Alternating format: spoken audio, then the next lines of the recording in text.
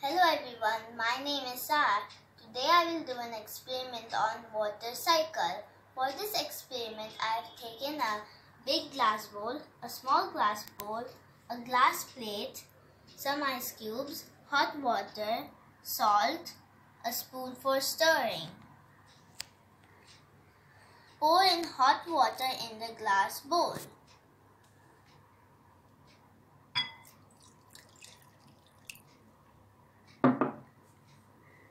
Put some salt in it. Stir it up. This is our ocean. Put the empty small bowl in it. This is our land. Put the glass plate on top of it. Put some ice cubes.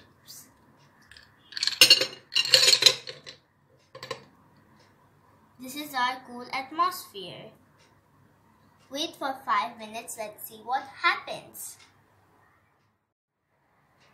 After 5 minutes, water droplets have formed under the plate and also on the sides of the bowl. Steam came up from the hot water in the form of water vapor. It is called evaporation. It touched the cold plate and formed into water droplets. It is called condensation. Some water will drop into the small bowl. It is called precipitation. We will remove the plate and see.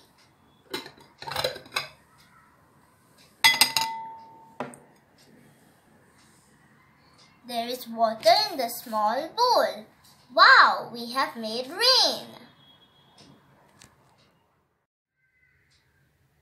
So basically what is happening in nature is that the hot sun due to its heat evaporates the water from lakes, rivers, seas and oceans. The steam from water rise up in the sky in the form of water vapor to form clouds. Plants and trees also give out moisture in air. It is called transpiration. The temperature is cool up in the sky so the clouds sweat. This is called condensation. When they can no longer hold water droplets, they fell in the form of snow, snow or rain, depending on the temperature in that area. This is called precipitation.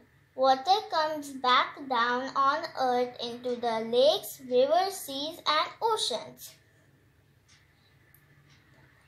Percolation that is groundwater and runoff water in streams and rivers also occur. So this is nature, this is water cycle and this process goes on. Thanks for watching.